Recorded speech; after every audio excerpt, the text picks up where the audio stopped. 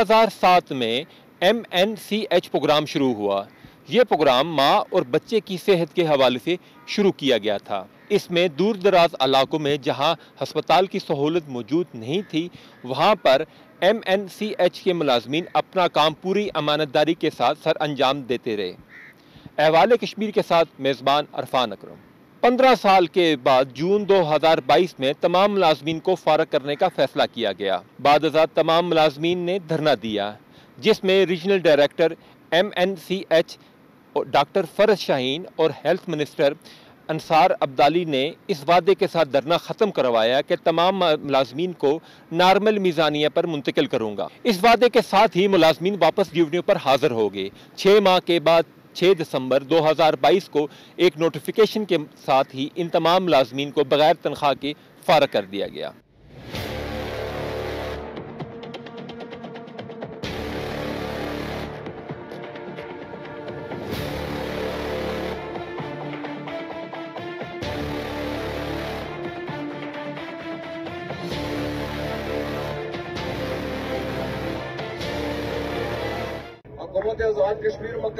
पर आपके साथ है। थोड़ा सारा जो बजट में कट लगा था, उसकी वजह से थोड़े सारे खदशात पे जो है वो हो गए थे। लेकिन मैं थोड़ा सा आपको ये भी बता दूँ कि आप सारी तंजीमों ने, आप खातन बहनों ने, मुझे ये भी खबर मिली है कि कुछ बहनें जो हैं वो भूख की वजह से और बाकी वजूहत की वजह से बेहोश भी शायद हुई हैं। तो मैं ये नहीं चाहता कि आप ये वाला धरने वाला रास्ता जो है वो अख्तियार करें। आपको नॉर्मल मिजानिया के ऊपर लाने के लिए सेक्रेटरी साहब डीजी साहब और खसूसी तौर पर मैं आपको ये भी बताना चाहूँगा कि जब आपने पहले एहतजाज की कॉल नहीं दी हुई थी, उस वक्त वज़ीर आज़म सरदार तनवीर इलियास साहब ने खुद मुझे, मैं गाँव में था अपने हल्के में तो वहाँ से मुझे खसूसी तौर पर बुला के उन्होंने मुझे ये हदायत जारी की थी कि आप फौरी तौर के ऊपर इसका फ़ाइल वर्क मुकम्मल करें, चूँकि हम इसको नॉर्मल मिजानी के ऊपर लाने के हवाले से जो ज़रूरी इकदाम हैं वो करना चाहते हैं। और आप बहनों भाइयों को और यहाँ पर चूँकि बांगे दुल में सारी बात। इन कैमरा कर रहा हूँ ऑफ़ कैमरा भी और इन कैमरा भी आप समझ लें कि ये जो सारी गुफ्तु मैं आपसे कर रहा हूँ कि ये सारा फ़ाइल वर्क इंशाल्लाह आप तमाम जो बहनें और भाई हैं और जो हमारी बच्चियाँ हैं, आप सबको किसी सूरत हाल में भी बेरोजगार करने के लिए आज़ाद हुकूमत रियासत जम्मू कश्मीर तैयार नहीं है। आप अपने आप को नॉर्मल मिजानिया के ऊपर जिस तरह आप पहले मुलाजम थी उसी तरह इन ताला मुलाजम तस्वर करें। अगर कहीं कोई कमी कोताही, कोई रुकावट और कोई मसला भी हुआ, पहली बात है मसला है ही कोई नहीं है। अगर हुआ, मैं डीजी साहब और सेक्रेटरी साहब, हम सारे आपके साथ मिल बैठ के आपके हड़ताल में इंशाल्लाह ताला शामिल होंगे। आपको फ़िक्र करने की कोई ज़रूरत नहीं है। दूसरी बात, मैं आपको ये कहना चाहूँगा कि बाकी ये सारा मामला तो आपका इंशाल्लाह तय हो गया, लेकिन एक काम आपने ज़रूर करना है। वो काम ये कि हम सारे अपनी अपनी इज़्ज़त, अपने अपने तमाम मामला को दौर पर लगाकर आपके हक में आपकी लड़ाई लड़ रहे हैं। कल जब आप लोग नानुल मिजानिया के ऊपर होंगे तो फिर आज़ाद कश्मीर भर में आपने पहले से दो, तीन, चार गुना ज़्यादा काम करना है ताकि मेरी भी और आप सबकी इज़्ज़त हो सके। और इस सिलसिले में मैं थोड़ा सा आपको ये भी गुजारिश कर दूँ कि हमारे जो खजाने के वज़ीर हैं माजिद साहब उन्होंने भी बड़ा अच्छा रोल प्ले किया। साथ ही साथ पूरी कैबिनेट में हमारे जितने भी मिनिस्टर्स थे मामले खसूसी और एडवाइजर्स थे किसी एक भी शख्स ने ये नहीं कहा कि इनको नॉर्मल मिजानिया के ऊपर नहीं होना चाहिए। इस वक्त मैं मौजूद हूँ छतर चौक के अंदर और यहाँ पर महकमा सेहत के मुलाजमीन एहतजाज कर रहे हैं। हम इनसे जानते हैं कि इनके आखिर क्या मुतालबात हैं और किस वजह से ये एहतजाज कर रहे हैं। क्या नाम है आपका?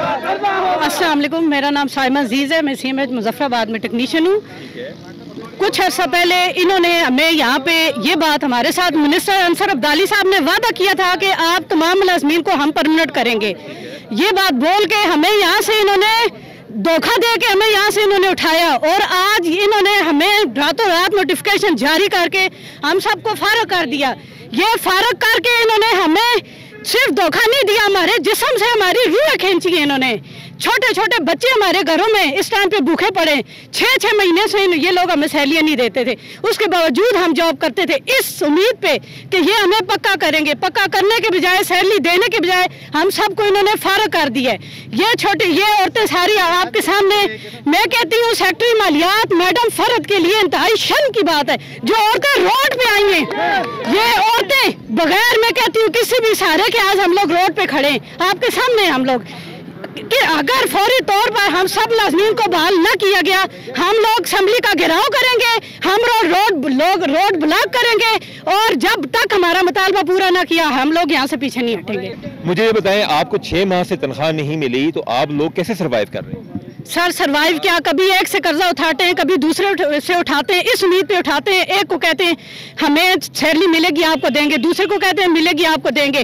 कर्जे वाले लोग हमें कॉल करके कहते हैं आपकी जॉब फारग हो गई आप कर्जे कहाँ से देंगे? हम लोग इनके इनको किसी सूरत में छोड़ेंगे हर सूरत में अपनी जॉब हासिल करके रहेंगे और हमारी सैलरी भी छः महीने की हमें हर सूरत में इनको देनी है। कितना अरसा हो गया है और आपको आपका कौन सा स्टेशन मैं, मुझे तीन, ये चौथा साल शुरू हो रहा है। मैं अम्बोर हॉस्पिटल में एज ए न्यूट्रिशनल काउंसलर हूँ। अरसा तीन साल से मैं वहाँ पे सर्विसेज़ दे रही हूँ एज ए न्यूट्रिशनल काउंसलर होने के बावजूद मैं तमाम स्टाफ तमाम वार्डों में लेबर रूम एमरजेंसी में जहाँ भी इनको ज़रूरत पड़ती थी तो ये मुझे लगाते थे। मैं हर जगह पर ड्यूटीज़ की हैं मैंने। लेकिन ये कि अभी जो पीछे इन्होंने जून में, जून के बाद इन्होंने कहा जी बजट ख़त्म हो रहा है और उसके बाद जब हमने धरना दिया, यहाँ पे इसी जगह पे बैठे थे, जुलाई में इसी जगह पे हमारे पास मैडम फरज शहीन आई हैं, अंसार अब्दाली साहब आए, उन्होंने हमें कहा कि आप सब अपने आप को एक परमानेंट स्टाफ की हैसियत से समझें और आप लोग अपनी ड्यूटीज़ अंजाम दें। आप लोग जो हैं, सारे परमानेंट हैं। आप जाएँ आप धरना ख़त्म करें आपने यहाँ से आगे और कुछ भी नहीं करना आप वहाँ जाएँ। कितने दिन, कितने दिन का धरना था आपका वो? ये हमारा एक वीक हमने स्ट्राइक की थी फिर लास्ट टाइम हम सारे जो आज़ाद कश्मीर आल डिस्ट्रिक्ट से आए हुए थे हमारे पास बंदे। यहाँ पे हमने धरना दिया तपती धूप में हम सब यहाँ पे बैठी रही हमारे साथ कुछ ऐसी हमारी बहनें जो अपने बच्चों को छोटे छोटे बच्चों को दूध पिलाने वाले बच्चों को साथ लेके आई थी वो इस तपती धूप में बैठी हुई थी हमारे साथ। और फिर जब मिनिस्टर साहब आए उन्होंने हमें ये यकीन दहानी करवाई कि आप लोगों बल्कि हमारे साथ वादा किया हमारे पास वीडियोज़ मौजूद हैं हमारे पास सारी चीज़ है। उन्होंने हमारे साथ वादा किया कि आप लोग जो हैं, अपने आप को आज ही से नॉर्मल समझें और आप लोग अपनी ड्यूटीज़ पे जाएँ। आप लोगों ने बिल्कुल भी टेंशन नहीं लेनी है, बेफिक्र हो जाएँ। हम लोग इसका कोई हाल निकालेंगे। और उसके बाद छः माह से हमें कोई इन्होंने तनख्वाह नहीं दी है। ऐसे छः माह से हम जॉब कर रहे हैं। जब भी हम पूछते थे प्रोसेस लगा हुआ है प्रोसेस लगा हुआ है सेक्रेटरी मालियात के पास आपकी फ़ाइल गई हुई है फलां जगह पे गई है, इस तरह से हमें टालते रहे। और हमें ड्यूटीज़ देते हैं ट्वेंटी फोर हम ड्यूटी देते रहे। कोई बंदा भी हम से किसी ने ये चीज़ नहीं सोची है कि हमारे पास किराया नहीं है, कुछ भी नहीं है। हमारी कुछ ऐसी माएँ बहनें जो इतने दूर से आती हैं। इतने दूर से चल के आती है, जिनके पास अगर किराए के पैसे नहीं होते हैं तो वो चल के आती हैं। लेकिन अपनी ड्यूटी पे वो पहुँची हैं, अपना काम उन्होंने सर अंजाम दिया है। लेकिन मुझे इस बात से बहुत ज़्यादा हम सारे लोग जो हैं, बहुत शौक में हैं कि ये अचानक से हमारे साथ इन्होंने क्या किया है कि हमें एक सौ सतासी ये जो कॉन्टीजेंट्स वाले इन सबको इन्होंने एकदम से फारे के बगैर किसी पैसे के, बगैर कुछ के तो ये बहुत बड़ी नाइंसाफ़ी हुई हमारे साथ। अच्छा आप लोगों ने अपनी ड्यूटीज़ की हैं अब पाँच महीने के छः महीने बल्कि छः महीने होने वाले हैं आपको अभी तनख्वाह भी नहीं मिली है। और आप जब तनख्वाह का तकाजा कर रही हैं तो तनख्वाह भी अब वो टाल मटोली कर रहे हैं। मुझे बताएँ, क्या आपको लगता है कि बलदियाती इलेक्शन की वजह से ऐसा हुआ? मैं भी इसमें हो सकता है, क्योंकि पहले हमने जब स्ट्राइक के बाद हमने फिर प्लान किया कि हमारे धरना होगा स्ट्राइक होगी, फिर हमारे जो सीनियर क्यादत है, उन्होंने हमें कहा जी कि मिनिस्टर साहब से हमारी बात हुई है मिनिस्टर साहब से मीटिंग हुई है मिनिस्टर साहब ने ये चीज़ कही है कि आप लोग अभी सड़कों पर नहीं निकलना, आप लोगों ने अभी हड़ताल नहीं देनी है, आप लोग थोड़ा सा हमें टाइम दें, उन्होंने एक हफ़्ते का टाइम दिया, फिर एक हफ़्ते के बाद उन्होंने कहा कि यकम को हम जो है, यकम सितंबर को फिर हम बात करेंगे, यकम से फिर तीन पे बात गई, इस तरह से वो एक एक वीक का टाइम लेते रहे हमसे, और टाइम लेने के बाद भी उन्होंने हमें कोई ठोस आंसर नहीं दिया। और उसके बावजूद उन्होंने कहा जी कि आप लोग सब हो रहे हैं प्रोसेस चल रहा है। फिर बीच में कहा जी, ये इलेक्शन की वजह से जब इमरान खान साहब मुजफ्फराबाद आ रहे थे, तब जब हम धरना देने के था हमारा प्रोग्राम था कि हम लोग धरना देंगे। सारे लोग तैयार थे, पूरे ज़ात कश्मीर के लोग आए थे, लेकिन तब हमारे सीनियर की आदत ने कहा कि आप लोगों ने बिल्कुल भी ये नहीं करना। जो मिनिस्टर साहब ने कहा है कि ये इमरान खान साहब वापस जाएँ तो फिर हम इस बारे में बात करेंगे। अच्छा आपका नाम क्या है और आपको कितना अरसा हो गया सर्विस करते हुए? मेरा नाम गुलजेब है मुझे दस साल हो गए सर्विस करते करते हैं। और द, दस साल आपने कौन से स्टेशन पे काम किया? ये अमोर एम्स में किया है और सब वार्डा में किया है रेबर रूम से लेगा ओ टी ऑपरेशन थिएटर सारी सब वार्डा में किया है। और नेट मारना नीम तीनों शिफ्टें की हैं। अभी बात ये छोटे छोटे बच्चे हमारी उम्र ख़त्म कर गया। आज एंड बयान का हमें फारगी का लेटर दिया है। आठ माह हमारे ये हो गए कोई आठ छः सात माह की कोई तनख्वाह नहीं है हमारी। हमारे छोटे छोटे बच्चे हम किधर जाएँगे? हमारी सैलरी भी नहीं है, हमारा कुछ भी नहीं है। हमसे जून से इन्होंने अभी तक इन्होंने करवाई है कहा कि आप करो, हम आपको नहीं निकालेंगे। हमने क्या ऐसा, कौन सा जुर्म किया है? हम हमें हमसे ड्यूटियाँ भी करवाई। सेक्रेटरी हेल्थ ने कहा वजी आसिफ साहब ने कहा, हम आपको नहीं निकालेंगे। हमें क्यों निकाला जा रहा है? हम पे क्यों जुल्म किया जा रहा है? बस हमें ये बता दें, हम सांस की ज़ुबान होती है कलमा होता है ज़ुबान होती है। एक ज़ुबान पे बंदा खड़ा होता है। कहता है, भाई, हमारी एक ज़ुबान है। सेक्टर साहब ने हमें कहा वजाजम साहब ने हमें कहा, क्यों हमें निकाला? आप हमें क्यों धोखा दिया? अरसा नौ साल से आप ड्यूटीज़ कर रही हैं, ठीक है? नौ साल के बाद आपको ये बताया जा रहा है कि आपको, अब आपकी ज़रूरत नहीं है, आपको फ़र्क कर दिया गया है, ठीक है? छः महीने आप लोग काम कर चुके हैं, तनख्वाहें भी नहीं मिली। ऐसे ही होता रहा, सच छः छः महीने, सात सात महीने हमारी सैलरी नहीं आती थी। हम लोग उसे ड्यूटियाँ करवाते थे। और हफ़्ते में हमारी ड्यूटी आगे पीछे करते हैं। हफ़्ते में हमारी ड्यूटी मेरी ड्यूटी डबल अब की होती थी। इवनिंग नाइट सुबह आठ, दो से लेकर मैं सुबह आठ बजे तक ड्यूटी करती थी। और इस वक्त मेरे घर में माजूर बच्चा सी पी चल पड़ा हुआ है। चार उसको मेडिसिन में दे रही हूँ। अगर मेरे बच्चे को कुछ हो गया, मेरा बच्चा आज तीसरा दिन है, उसको एक टाइम दूध मिलता है। दो घंटे के बाद मैं उसको दूध देती हूँ। अगर उसको छः में दूध की ना दूँ, वह बच्चे की डेथ हो जाती है शुगर उसका कम हो जाता है बीपी उसका कम हो जाता है, ये हुकूमत जिम्मेदार है? और हमारे कमेटी के जो मेंबर है, वो जिम्मेदार है। हमारे घर में एक कि दुकानदार के पास जाती हूँ, एक किलो आटा लेके जाती हूँ, एक किलो घी लेके जाती हूँ आधा किलो चावल लेके जाती हूँ, वह बच्चों को बना के देती हूँ। कभी चावल बनाए तो सब्ज़ी नहीं होती है। सालन बनाया तो रोटी के लिए, रोटी नहीं होती है, चावल नहीं होते। क्या हम लोग बच्चों को क्या खिलाएँगे? और उस बच्चे को मैं किसी को दवाई कहाँ से लेके दूँगी? इस वक्त भी मेरा सात आठ सौ रुपया नीचे मेडिकल स्टोर का बना हुआ है। पंद्रह हज़ार रुपये मेरे दुकान दुकान वाले सौदे का बना हुआ है। सुबह गया, कहता आपका जो महकमा है, फारूक हो गया है। आप हमें पैसे कहाँ से ला के देंगे? हमें नहीं पता, जिधर से पैसे ला के दें। हम इनका क्या मौका है? क्या कहेंगे? सर मेरा मौकफ ये है कि पहली बात है हमें जब प्रोजेक्ट ख़त्म हुआ है तो इनको हमें फारग कर देना चाहिए था। ठीक है। हम्म, फारग कर देना चाहिए था। अब इन लोगों ने हमें ना फारग नहीं किया। अब छः महीने हो गए नौकरी दिला के बारह तेरह साल मेरी सर्विस है। नौकरी करा के मतलब ड्यूटी करवा के आज हमें ये लेटर दे रहे हैं कि जी आप फारग हो गए हैं। अभी इन्होंने ऐसे नहीं करना चाहिए। जब हमारा तरना हुआ है यहाँ पे उस वक्त उस वक्त जो है ना, इधर मतलब तरने में इन्होंने कहा था कि जी, सेक्रेटरी आए, सेक्रेटरी मलियात आए, और जो जो भी सीनियर लोग आए उन्होंने हमारे साथ वादा किया था।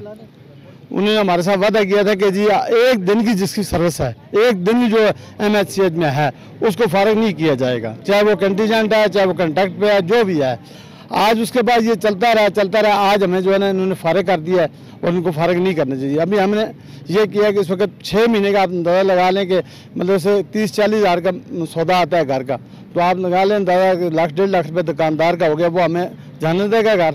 अच्छा मुझे बताएँ एम एन सी एच के जो थे जितने भी मुलाजमी थे सबको फारग कर दिए गए या उसमें भी पसंद नापसंद का है कोई? उसमें सर कंटी हमने ये सुना है जी कंटीजेंट कंटीजेंट। अभी जो है बाकी तो रिकॉर्ड का मैं नहीं पता कि कौन से कौन से यही कह रहे हैं कि तीन सौ बंदा जो है वो फारग कर दिया जो कंटीजेंट था। तो बाकी जो कंटेक्ट में है वो अभी फारग नहीं किए तो अच्छा मुझे बताएँ आपने आपको पता है कि बल्दियाती इलेक्शन हो चुका है काउंसलर भी मुंतब हो चुके हैं। क्या आपने अपने उस इलाके के अंदर से काउंसलर से भी बात की है? सर हमने किया है। हमने किया जो पीटीआई को वोट दिए हमने, उनसे भी किया बात।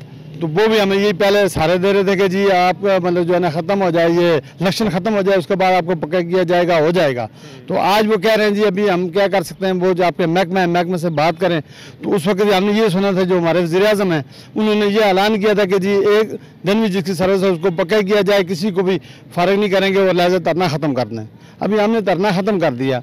तो सारे सीनियर लोग जो हमारे दफ्तर के थे, बाकी वो सारे इधर थे, उन्होंने सब कमेंट कमेंट किया, उसके बाद हमें जो है ना फारे कर दिया। छोड़ो मतलब तो हम सर्विस करते रहे। अभी छः महीने हो गए हमें सर्विस करते हुए, और कर्जे उठा रहे हैं मतलब घर से आ रहे हैं, मोटरसाइकिल है, उस पर आते हैं, उसका खर्चा, घर का खर्चा आप लगा लें अंदाज़ा, यही है। अभी दस बारह आदमी या पंद्रह आदमी घर के खाने वाले हैं तो कैसे जियेंगे हम? अच्छा समीर भाई, आपको कितना अर्सा हो गया यहाँ पे जॉब करते हुए? सर मुझे चार साल हो गए मैं सी एम एच में लेबार्ट्री टेक्नीशियन था एम की तरफ़ से। तो चार साल से हम दिन रात अपनी चौबीस घंटे ड्यूटी सर अंजाम दे रहे हैं। तो हुकूमत वक्त और हमारी रीजनल डायरेक्टर साहब है कि नैनसाफ़ी का ये आलम है कि कल चार बजे में ये पता चल रहा है कि जी बिला तनख्वाह में छः माह से इन्होंने तनख्वाह रख कर हमें फारग कर दिया है। तो पिछली बार जब धरना हुआ था हमारा तो जून में हमने धरना दिया। इस धरने में मिनिस्टर हेल्थ साहब आए डीजी हेल्थ आए हमारी रीजनल डायरेक्टर साहब आई। और उन्होंने हमसे वादा किया कि कोई भी मुलाजम अपने आप को फारग न तस्लीम करे। आप सब लोग नार्मल पर मौजूद हैं। हम आपने सबको नार्मल पर शिफ्ट कर दिया है और आपने अपनी ड्यूटियाँ जारी रखनी है। अच्छा जब ये कहा गया तो क्या उस दौरान आपको कोई नोटिफिकेशन या कुछ इस तरह का कुछ आपके पास सबूत है कोई जो उन्होंने दिया हो? वो हमारे पास वीडियो मौजूद है जहाँ पर मिनिस्टर साहब ने कहा था कि मैं ऑन कैमरा ये बात कह रहा हूँ। और मैं डर चुप कर नहीं कह रहा मैं मीडिया पे सरेआम ये बात कह रहा हूँ और ये बात हमारे पास मौजूद है ये सबूत हमारे पास मौजूद है। कागज़ी कार्रवाई नहीं सिर्फ़ बयान तक है। सिर्फ़ बयान तक है कागज़ी कार्रवाई कोई नहीं की और हमें आज छः महीने बाद ये बजट में हमें इन्होंने फर्जी तौर पर शामिल किया गया और हमें हर बात हर माह में ये लारा देते रहे कि आप नॉर्मल पर हैं बस ड्यूटियाँ जारी रखें। हमें आपको बजट में जब आपको शामिल किया गया तो उसके लिए एक फंड्स भी रखा गया होगा क्या ऐसा है? जी 270 बिलियन इन्होंने हमारे लिए फंड मुख्त किया था। और अब वजी अजम आज़ाद हुकूमत रियासत जम्मू कश्मीर सरदार तनवीर इलियास साहब ने जब नोटिस लिया नोटिस लेने के बाद हमें उन्होंने बजट में शामिल किया। जब हम एजे के, के फर्जी एजे के, के बजट में शामिल हुए हमारे लिए 270 बिलियन बजट मुख्त हुआ। तो आज हमें ये कहा जा रहा है कि आप बिल्कुल फारग हैं और हमें नौकरी से फारग करके हमारी डायरेक्टर साहब अभी चुप गई हैं वो भी सामने नहीं आ रही वो भी दफ्तर में मौजूद नहीं हैं। तो हमारा खुदारा वजी अजम ज़ाद हुकूमत रियासत जम्मू कश्मीर सरदार तनीर इलियास साहब मिनिस्टर हेल्थ साहब हम इनसे रिक्वेस्ट करते करते हैं खुदारा हमारे हमारे आल पर रहम करें, हमारी जाब बाल की जाए, हमारी तनख्वाह की अदायगी की जाए।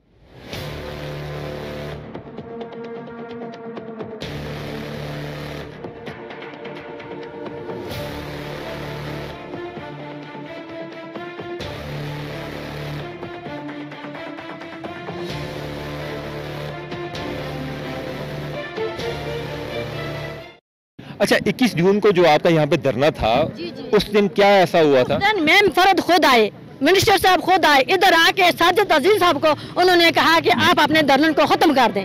खत्म कर दें इन मुलाजमिन को ड्यूटी पे हाजिर कर दें। हाजिर हो गए हम छह महीने हम लोगों ने ड्यूटी की है आज मेरा किराया चौबीस हज़ार रुपया हो गया चार महीने का। मेरे कमरे का किराया मैं किराए पे रहती हूँ मेरे दो बच्चे मैं इनको भूखे सुला के ड्यूटी पे आती रही हूँ। क्या सलाह दिया उन्होंने हम लोगों को? चार साल मेरी सरोस हो गई है, चार साल पूरे। मैंने कुछ ही नहीं देखा आज दिन तक। हमें सुकून की तनख्वाह नहीं मिली। सात महीने के बाद मिलती रही है, छह महीने के बाद मिलती रही है। हम कर्जा उठा उठा के खाते रहे ये कौन सा तरीका है ड्यूटी करवाने का? ये कौन सा हक है किसी को देने का? अच्छा आप भी मुजफ्फराबाद स्टेशन के अंदर जॉब कर रहे हैं? जी वालेकुम सर। पहले तो मैं केटू चैनल का शुक्रगुजार हूँ, जिन्होंने हमें टाइम दिया, हमारी न्यूज़ चला रहे हैं। मैं आपका भी शुक्रगुजार हूँ। और सबसे पहले बात यह है कि सर, मैं main office M N C H के रीजनल ऑफ़िस का मुलाजम हूँ, सर। तो सर पहले भी मुलाजमीन को हमारा धरना लगा था यहाँ पे आपको याद होगा पिछले जून में। तो सर उस दौरान भी हमारे साथ ये किया गया कि सर हमें बताया गया कि आपको एक किसी मुलाजिम को फारग नहीं किया जाएगा। चाहे वो एक दिन का भी क्यों ना हो उसमें मिनिस्टर हेल्थ भी आए थे हमारे डीजी साहब भी आए थे हमारी regional director madam doctor Farid Shaheen साहब भी आई थी। और उसके बावजूद सर, इन्होंने मिनिस्टर साहब ने हमें कहा था, इसी दिन से आप अपनी ड्यूटियों पे चले जाएँ और आपको कोई निकाला नहीं जाएगा और आपको तनख्वाह दी जाएगी। और सर छः माह जब हमारे पूरे हुए तो सर, हमें आई नोटिस फारगी दिया जा रहा है कि और वन मंथ की तनख्वाह वो भी अभी दी नहीं गई है। वो भी सर, हमें लारे लगाए जा रहे हैं। सर, ये हमारे साथ बहुत बड़ी ज्यादती की जा रही है। सर ये कौन सा इंसाफ है हमारे साथ कि हमें फारिग कर दिया गया? अगर आप लोगों ने फारिग करना था तो पाँच माह पहले कहाँ थे? हमें पाँच माह पहले बताते हम उधार ले लेके अपने बच्चों को जो है तो घर जो सारा सौदा लेके जाना होता है उधार लेते हैं सबसे। तो हम किससे अदा, कैसे अदायगी करेंगे? सीएमएच में हमें जो है तो गधों की तरह काम कराया जाता है ना हमारे पीछे से कोई बोलने वाला है। मुझे बताएँ पाँच माह आप काम कर चुकी हुई हैं। सारी खातन और जितने भी बंदे फारूक हुए हैं। और पाँच माह के बाद अब इनको ख्याल आया और उन्होंने आपको फारगी नोटिस दे दिया है। ठीक है? क्या आप लोगों ने अपनी ड्यूटीज़ की थी? जी, हम अपनी जो है तो ड्यूटीज़ बाकायदगी से करते रहेंगे। जैसे हमारी इवनिंग नाइट हम 24 फोर आवर्स सर्विस देते रहे। तो फिर भी हमारे साथ ये ज़्यादा की जा रही है। आज हमें कह रहे हैं कि आप लोग फारिग कि कहीं किसी भी हमारी जो दूर दराज इलाके में जो हमारी बहनें जो हैं, माएँ जो ड्यूटियाँ कर रही हैं, वो ट्वेंटी फोर आवर सर्विस दे रही हैं। तो आज हमें ये लोग कह रहे हैं कि आप फारेंगे किस लिए फारेंगे हमें किस लिए जहाँ से निकाला जा रहा है? आज ये कह के कि आप लोग जो हैं तो हमारी तरफ़ से फारेंगे कल हमें व्हाट्सएप पे ये नोटिफिकेशन बताया गया कि आप लोग फारेंगे कॉन्टीजेंट वाले जो है तीन सौ मुलाजिम फारेंगे हमारे साथ ज़्यादा हो रही है। हमें इंसाफ दिया जाए। मेरी वजी अजम आज़ाद कश्मीर से अल्तमास है कि वो हमारे मसले पे गौर करें। ना कि जो है अपनी कंपेन चलाते रहे, हर जगह पे जाते रहे। हमें इंसाफ दिया जाए। अच्छा आप कौन से स्टेशन पे जॉब कर रही थी? और मुझे ये बताएँ, क्या आपको लगता है कि मुजफ्फरबाद डिवीज़न में जो पीटीआई का जो रिज़ल्ट आया है बल्दियाती इलेक्शन में, क्या उसकी वजह से ये सारे मामला? वालेकुम, मेरा नाम शाजिया बशीर है, मैं बी एच यू लम्यू पटिया में हूँ। सर इसका तो मैडम फर्श है जब छः जू, जून में हम इधर आए थे तो वज़ीर सैद और मैडम आई थी उन्होंने कहा कि बेटा हमारी इज़्ज़त का भी ख्याल करो हम आपकी इज़्ज़त का ख्याल करेंगे। उस टाइम हमने उनकी इज़्ज़त का ख्याल किया आज हमें हमारी इज़्ज़त का कोई ख्याल नहीं है उनको। कभी उनकी बेटी इस तरह रोड पे आए तो उनको कैसा लगेगा? हम किसी की बेटियाँ नहीं है हमारी इज़्ज़त नहीं है। गरीबों का यही होता है जब इनका मतलब होता है वोट लेने के लिए पहुँच जाते हैं। जब इनका मतलब निकल जाता है तो फिर हमारी ज़रूरत ही नहीं पड़ती इन लोगों को। हमारी हमारी हर जगह हर जगह हम इनके साथ खड़े रहे जब कोरोना आया तो तब लो, लोगों ने छुट्टियाँ की हम लोगों ने ड्यूटियाँ की। घंटा घंटा चल के हम लोग आते इतने दूर से छोटे छोटे बच्चे छोड़ के दूध पिलाने वाले बच्चे छोड़ के ये तीन बच्चों को हम घर में छोड़ के आते हैं। तो इनको शर्म नहीं आती? छह महीने से ये हमें सैलरी नहीं देते। उसके बाद कहते हैं कि जी आपको फारग कर दिए गए। किस बिना पे हमको फारग कर रहे हैं? हमारा कसूर क्या है? कि हम लोग ड्यूटियाँ कर रहे थे टाइम पे आ रहे थे। नॉर्मल वाले कभी आते हैं, कभी आते ही नहीं है। हम लोग आते जहाँ भी जाएँ तो एमएनसीएच वाले आए एमएनसीएच वाले आए। एमएनसीएच वालों ने इतना गुनाह किया है कि वो ड्यूटियाँ टाइम पे करते हैं। अच्छा मुझे बताएँ क्या वो उन्होंने जो कहा था कि एक महीने की तनख्वाह भिजवाएँगे क्या वो भी भिजवाई है कि वो भी नहीं भिजवाई? नहीं एक महीने की तनख्वाह से क्या बनता है? हम जहाँ से दुकानदारों से सौदा लेके जाते हैं वो कहते हैं आप कौन से महकमे में ड्यूटियाँ कर रहे हैं कि आपको तनख्वाह ही नहीं मिलती? तो एक महीने की तनख्वाह हम कहाँ पे देंगे? दूध वालों को देंगे। हम इनको भीख के तौर पर देते हैं जाके अपने मुलाजमों को वो वही रख लें। से जो वादा किया गया था वो जून में आपको मुस्तकिल करने का कुछ ऐसा था। तो फिर जून गुजर चुका है तो अभी तक आप लोग खामोश रहे? क्यों? सर, हमारे सीनियर अफिसरान सेक्रेटरी साहब खुद यहाँ पे, तनवीर अलिया साहब का भी मैसेज आया कि इन इन इन इस पूरे डिपार्टमेंट को एमएनसी के पूरे प्रोग्राम को हम नॉर्मल मिजानिया पे ले जाएँगे। और हमें सीनियर जब एक सीनियर हुक्म देता है कि जाए आप सेंटर पे काम करें, आपको नॉर्मल मिजानिया पे ले जाया जाएगा तो हम कौन होते हैं काम ना करने वाले, सर? हमारे चूल्हों को जलाने के अलावा बंद क्यों कर रहे हैं?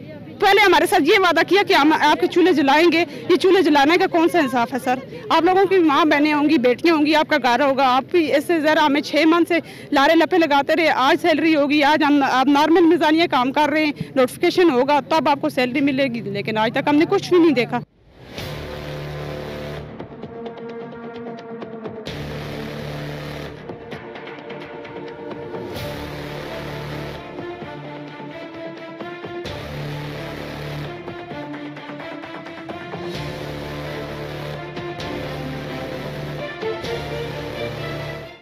हकूमत आज़ाद कश्मीर रोज़गार फराहम करने में मुकम्मल नाकाम। एम एन सी एच के सैकड़ों मुलाजमीन को रातों रात फरागत का परवाना थमा दिया गया। मुलाजमीन का यही कहना है कि बल्दियाती इंतबात में हुकूमत ने हमसे, हमें झांसा देकर ड्यूटी करवाई और बल्दियाती इंतबात में मतलूबा नतज हासिल न करने की बुनियाद पर मुलाजमत से फारग कर दिया गया। ज़रूरत इस अमर की है कि मुलाजमीन को फौरी तौर पर नॉर्मल मीज़ानिया पर मुंतकिल किया जाए और गुजशत छः माह की बकिया तनख्वाह फौरी तौर पर अदा की जाए, ताकि इनके बच्चों का मुस्तबिल बचाया जा सके। कैमरा मैन राजा दानियाल के साथ अरफान अक्रम को दे दीजिए इजाज़त। इन अगले प्रोग्राम में जल्द हाजिर होंगे। तब तक के लिए अल्लाह हाफ़